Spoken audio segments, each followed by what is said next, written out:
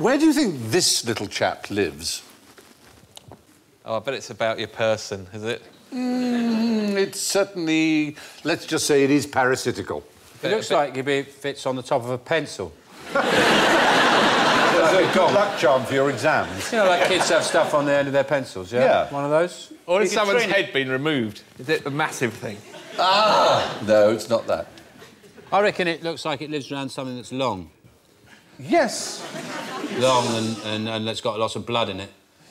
It's, yeah. maybe a couple of veins. It might have a couple of veins in it over there. just to give it a bit of purchase, because it was just long and smooth, it would slide down it. Where are you going? Something that, something that has, that's got a certain texture to it, Sean, has got a bit of give in it. I'm going to rein you in, Sean. I'm just... Yeah. You're, you're kind of right. It's a slidey organ, a wet organ that it's... Looking at me for. I think, it, uh, looking at it, I think it lives in the dark. It's black all around it. Yeah, that's it its natural environment. No, it's got that translucent, I'm not worried about how I look thing. Yes. Actually, it's a mouth piece. It's a mouth part that it latches onto. The tongue. The tongue. The tongue, yes, there's a tongue of a tongue mite? particular fish. It is indeed. It's called the Is it- tongue-eating louse. Is it the tongue of the... It is. Develops fins. Do fish have tongues? I have never heard of. Yeah. What? Really? What? Yes. Why? They have why? Well, how else are they going to whistle?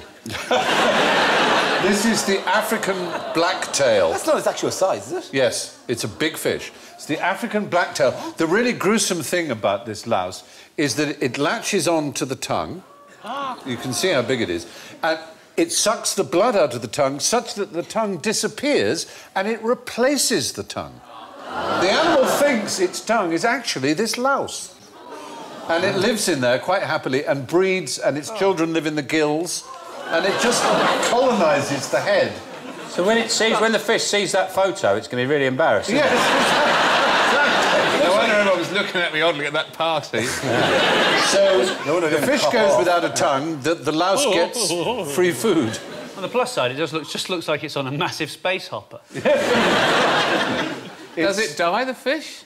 No, no, it carries on with a false coexist. tongue. Well, parasites Yeah. like to keep their host alive, don't Well, that's it. It's, in, it's to their advantage because the point is the food that passes into the into hmm. the mouth. they? It's probably not that bad. Uh, no. There's worse things happen to a fish, like being caught, as it has been there. Yes, by a human. Yeah. It probably finds the human more disgusting than the louse. Yeah. There's a, there's a, f- uh, a flatworm that, that uh, sort of inserts itself into crabs and then grows through all the parts of the crab till it pops out the top and then drives the crab around. Yes. Get out of the way! I'm after some seaweed!